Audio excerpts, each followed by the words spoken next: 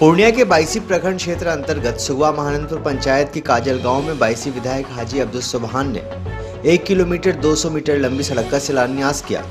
यह सड़क काजल से बगडोब तक जाएगी।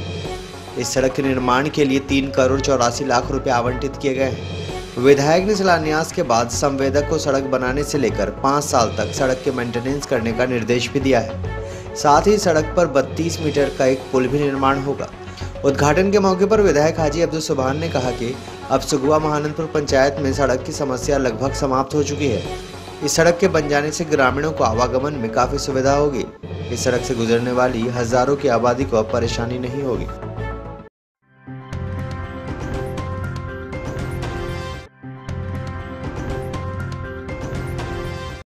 से पुल बन रही है। जा।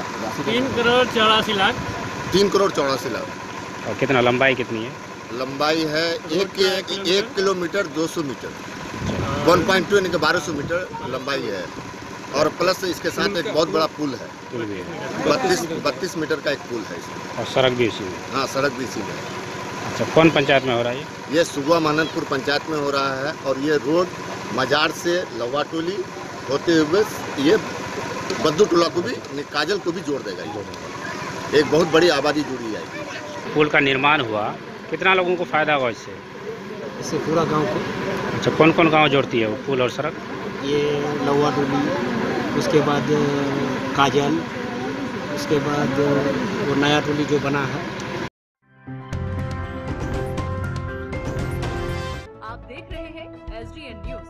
मुद्दे की बात आपके साथ।